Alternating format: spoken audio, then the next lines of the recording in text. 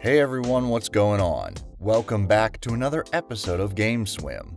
Today, we are going to take a look at the origins of GTA RP.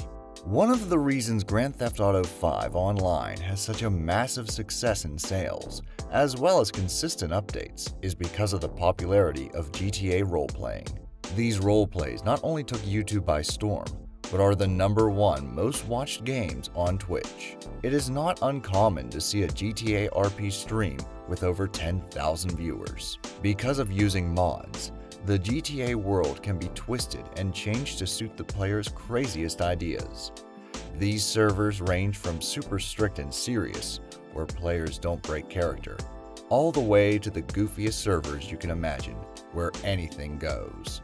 The most popular in numbers, as well as the oldest, is DOJ-RP, Department of Justice Roleplay.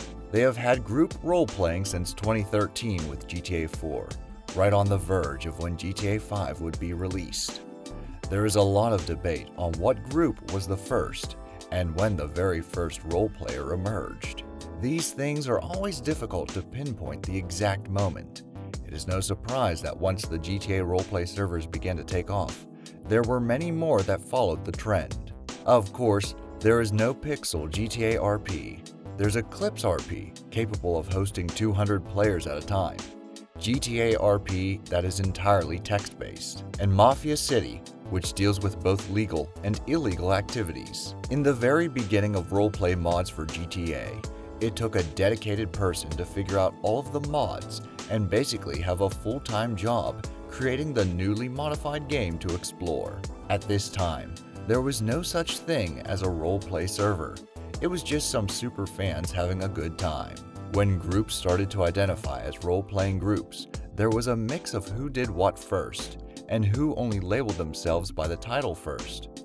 So each person may have a different idea of who actually was the first role-playing group. FiveM is often considered the first stepping stone to the GTA RP world. In 2016, FiveM rose in popularity, and from this popular group stemmed other popular groups like NoPixel. NoPixel seems to have taken off as the server of choice, attributed to how Koil created the group. It has custom-made scripts for the players to perform specific actions, different scenarios, and storylines made to entertain. Additionally, with streamers like Sodapoppin, just moved in. My name is Kevin Whippaloo, and I'm just trying to make some friends. XQC. Look around. Look, look behind you, bro. Look behind you, bro. What do you see, bro? Customers. Customers. Yes, yes. Everybody. Yeah. Shroud. Ah, that's how I like to get in the front door. There. yep, there it is. Never mind the honking. I have that system set up because Buddha.